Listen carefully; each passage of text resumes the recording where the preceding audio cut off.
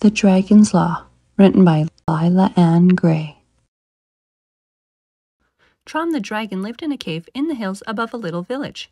It was a lovely place, and he was very happy. Everyone loved him, and sometimes the villagers would visit him, and the children would ask him to come out and play. Trom had lots of tricks.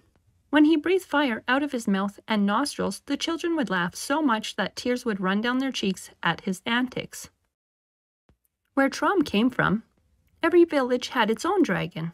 They would guard the village and be an important part of their lives. That was the dragon's law.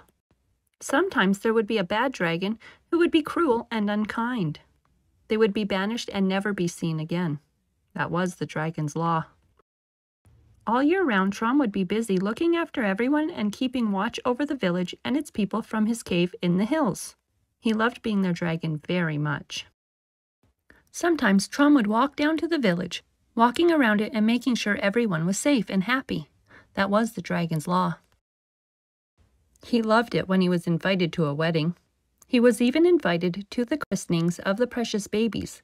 These times were very special to Trom. At Easter time, he was asked to help the village children to find the hidden Easter eggs when they went on their Easter egg hunt. That was great fun. Trom loved chocolate, and the children would share their treats with him. In the summer, the village always held a fete. Trom was invited to stand on the village green and show everyone how he could breathe fire. On bonfire night, he was given the privilege of setting the bonfire alight. Trom loved watching the fireworks being set off and making beautiful patterns in the sky. The villagers loved Christmas too, and Trom would enjoy seeing the fairy lights everywhere. There were pretty decorations all around, and Trom was always invited to the Christmas parties where the villagers made sure he had plenty of festive food to eat and lots of fun. There was one time of year that Trom dreaded. The villagers always seemed so busy, and that made them forget about their beloved dragon's birthday. They didn't even notice that one day a year they wouldn't see him as he would just stay in his cave until his birthday passed.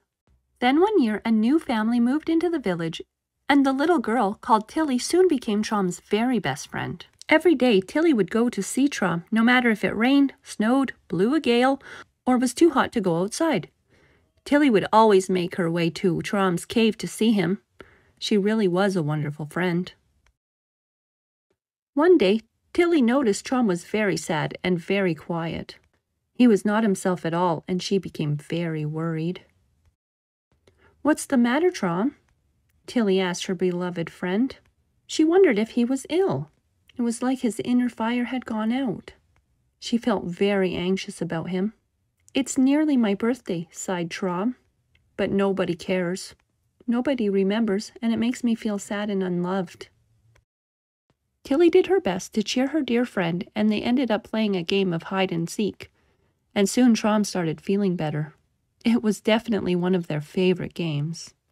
When Tilly went home, she told her mummy and daddy how Trom was always alone on his birthday every year and it made him feel so sad and unloved. They were very upset to hear this.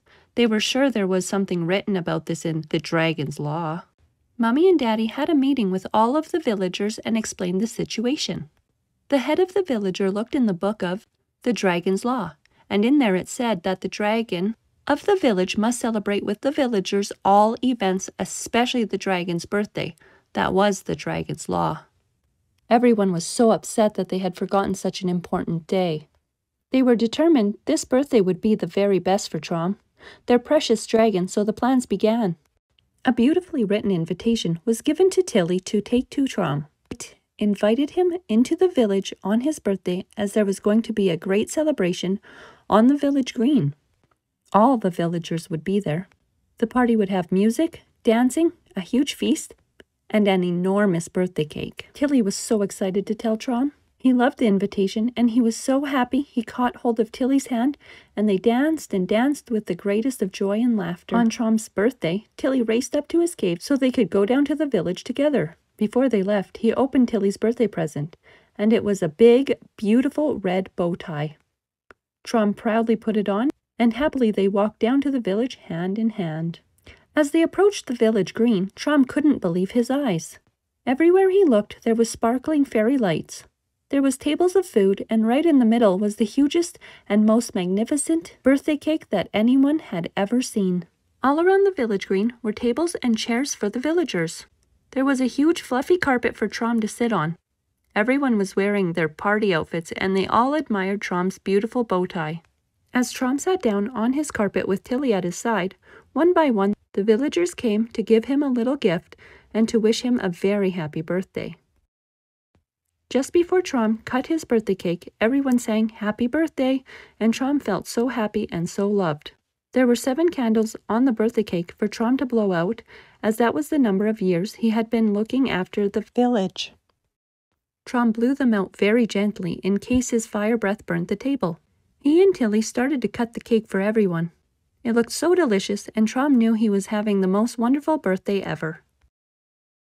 The head of the village stood up and thanked everyone for helping to make their beloved dragon Trom's birthday a success. He knew that the dragon's law was always right, and to celebrate their dragon's birthday was a wonderful way for the whole village to show Trom how much he meant to them all. They never again forgot to follow the dragon's law. Come back to Lulu's for more story time.